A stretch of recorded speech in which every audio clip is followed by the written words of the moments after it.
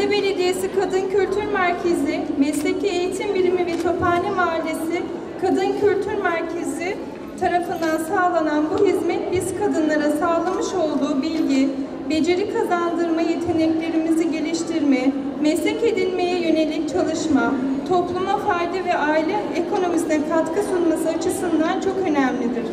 Ayrıca kadınların bir şeyler üretebilmek için meşgul olması, sağlıklı bir hayat için yaşamına kalite katmaktadır. Bu projenin yürütülmesi bizlere bu imkanları sağlayan değerli büyüklerimize çok teşekkür ediyoruz. Kadın Kültür Merkezi, Mesleki Eğitim Birimi ve Kadın Kültür ve Sanat Merkezimizin dönem sonu sergisi için toplanmış bulunmaktayız.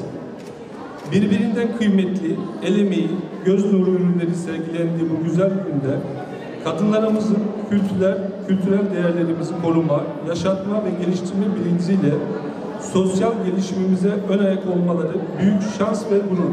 Kadın Kültür Merkezi, Mesleki Eğitim Birimi ve Kadın Kültür Sanat Merkezimizin özveri, sevgi ve el emeğiyle düzenledikleri bu sergide bulunmaktan dolayı çok memnun olduğumu belirtmek isterim. Kurs üyelerimize, emeği geçen arkadaşlarımıza sergi açılışında aramızda katıldığınız için sizlere teşekkür ediyorum hayırlı olsun diyorum. Herkesin eline emeğine sağlık. Çok teşekkür ediyoruz Sayın Başkanım. Hep birlikte sevgimizi gizliyoruz. Bayanlarımızın elinde.